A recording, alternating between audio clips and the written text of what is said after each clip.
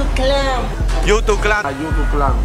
YouTube Clan. YouTube Clan. ¿Cuál YouTube Clan? Este YouTube Clan. YouTube Clan. YouTube Clan. El YouTube Clan. YouTube Clan. YouTube Clan.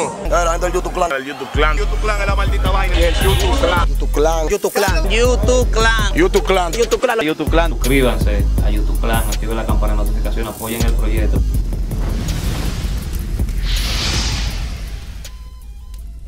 Que la que hay, mi gente del YouTube Clan, sean bienvenidos una vez más a esta sección informativa. Eh, adelante, farandulero. Espérense, tú sabes que hay que saludar a las personas que nos siguen en Instagram. Sí. Un saludo para Wilson Benjamín, un saludo para el Chucky 1234, John Mount, Tylon Breaker, William Rulay, un saludo también para Amin y la frecuencia.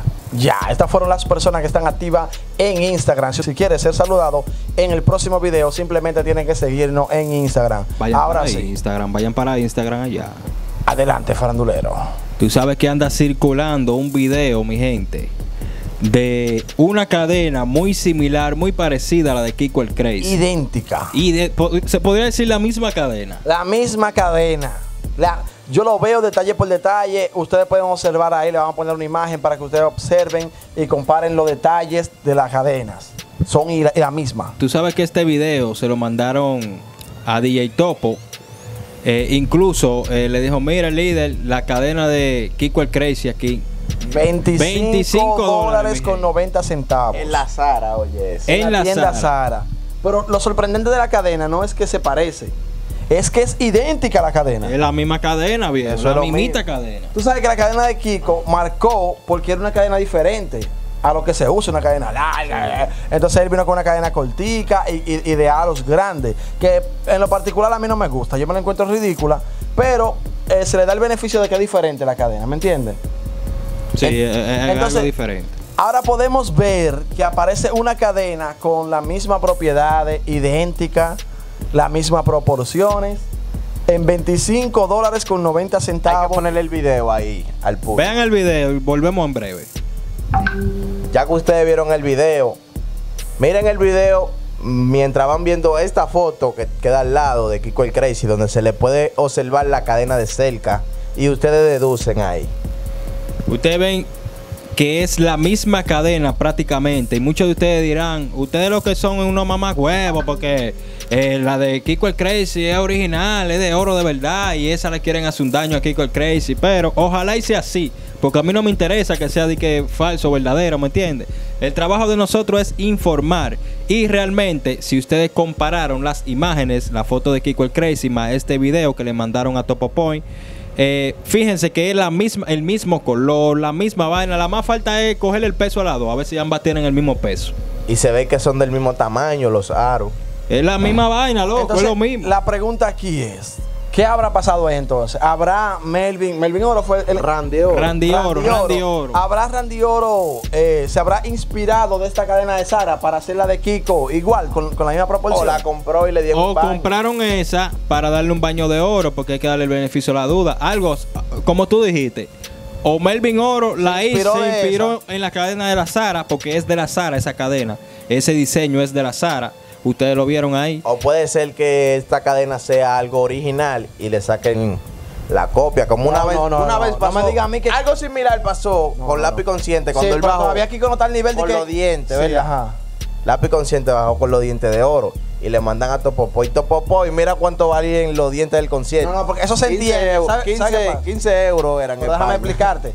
Esos dientes del lápiz ya eran común. No, no, el lápiz no fue el primero. O puede ser que él habló mentira, de que, de que- fue exclusiva.